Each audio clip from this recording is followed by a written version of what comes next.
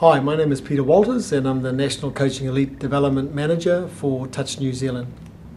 My role involves um, setting up all the um, coaching programs um, within New Zealand. Um, also, I work with the coaching panel, the coaching advisory panel, and um, work closely with all our national teams from our under 15s right up to, to our over 50. So, working with all the New Zealand coaches and the New Zealand players.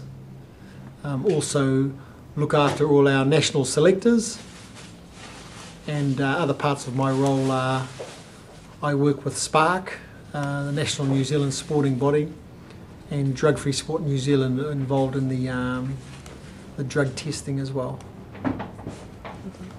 Thank you.